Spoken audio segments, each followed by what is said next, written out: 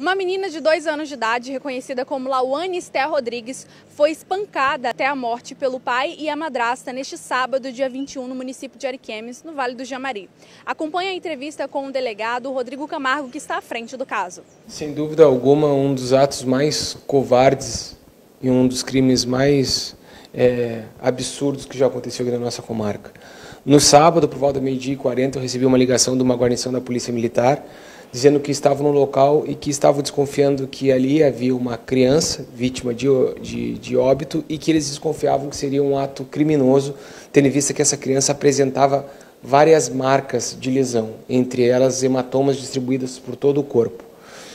Considerando diante disso, fui até o local do crime e, sem dúvida alguma, ali já me deparei que ali havia ocorrido um ato criminoso, doloso, contra a vida desse infante.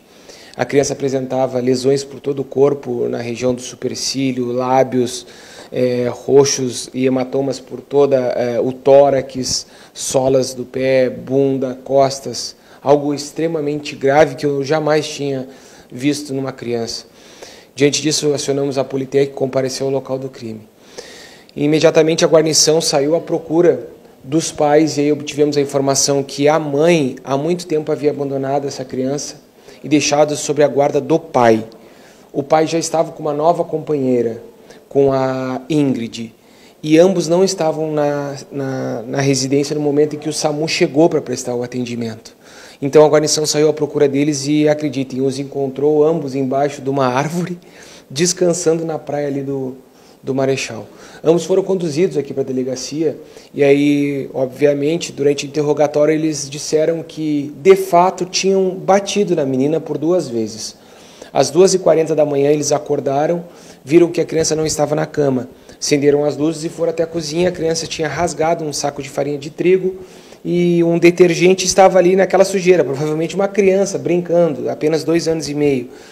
Diante disso, o pai mesmo acabou dizendo que, para corrigir, acabou agredindo essa criança. Uma agressão absurda, que, na minha visão e a visão da Polícia Judiciária, é, configura tortura. Bateram na criança colocaram ela novamente para dormir e aí então repousaram. Por volta das 10 da manhã eles acordaram de novo e essa criança estava agora em cima de uma mesa, brincando com outras coisas, já tinha derrubado alguns utensílios e alguns alimentos no chão. E aí, novamente, a Ingrid, que é a madrasta, e o William, os dois disseram que bateram na criança. As marcas são evidentes e comprovam isso. No entanto, no tocante à morte, eles alegaram que a criança estava tomando banho, que escorregou no banheiro e desmaiou. Eles foram até o local, viram a criança desmaiada, se assustaram e o deveria ter feito que todo pai faria, acionado a SAMU, esperado, prestado toda assistência médica, mas eles acharam melhor não fazer isso, simplesmente deixar a casa e foram embora.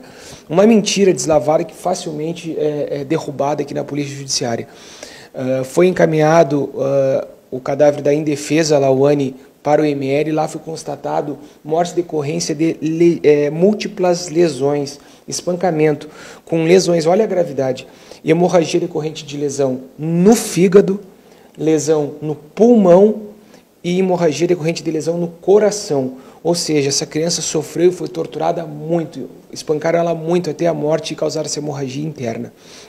Então, eles foram, obviamente, flagranteados pelo crime de homicídio doloso na modalidade qualificada. A Polícia Judiciária entende, no mínimo, duas qualificadoras motivo fútil, já que o motivo foi porque ela estava rasgando um saco de farinha de detergente, motivo fútil, e também homicídio qualificado pelo emprego da tortura. Então, ambos foram flagranteados, é, encaminhados ao presídio, estão à disposição do Poder Judiciário. A prisão em flagrante ela já foi convertida em prisão preventiva, então eles permanecem presos agora à disposição da Justiça. Importante é que eles haviam, é, estavam ainda com a tutela de uma outra criança, porque a Ingrid, que é a madrasta, tem um filho com o William, que é o pai da Lawane, e um bebê de apenas cinco meses. Ao visualizar as condições de higiene da casa ali, até para mim que estou acostumado a esse tipo de local, eu fiquei aterrorizado, essa é a palavra, aterrorizado com as questões de higiene, é, comida embolorada em cima da mesa, fralda suja por toda a casa, um local totalmente inapropriado para qualquer ser humano habitar ali. Então, essa criança, nós também decidimos acionar o Conselho Tutelar, ela foi acolhida, está na casa da criança à disposição da Justiça, até que seja encontrado um lar ou algum parente para poder abrigá-la e proceder à criação dessa criança. filhos então continuam presos.